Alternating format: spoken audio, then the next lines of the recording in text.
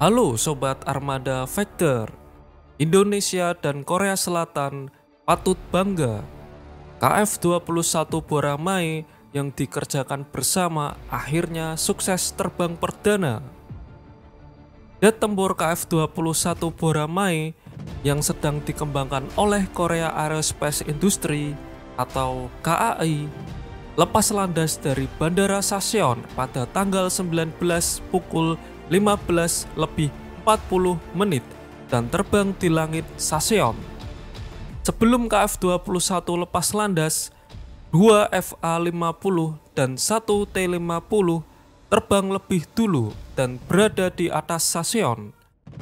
KF-21 prototipe nomor pertama terbang selama 30-40 menit setelah lepas landas untuk memeriksa kinerja pesawat. Dalam penerbangan perdana ini, KF-21 diketahui melakukan tes performa dasar meski tidak mencapai kecepatan maksimal, melainkan hanya sekitar 400 km per jam.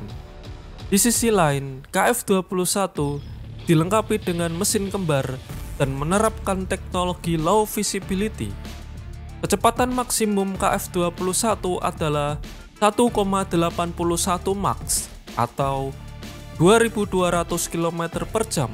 Jangkauannya adalah 2900 km dan muatan persenjataannya adalah 7,7 ton.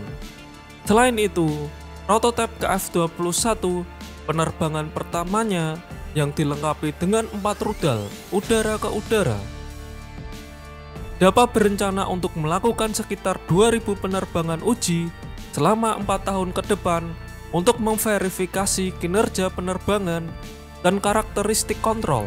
Dalam penerbangan uji tambahan, ketinggian dan kecepatan akan ditingkatkan secara bertahap dan akan diperiksa apakah manuver kecepatan tinggi dan manuver belokan cepat biasanya dilakukan sambil membawa berbagai peralatan seperti rudal, ini akan menjalani sekitar 2.200 penerbangan uji pada tahun 2026 dan uji senjata tambahan pada tahun 2028.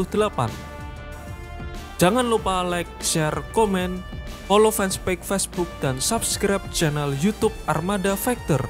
Sampai ketemu di video selanjutnya.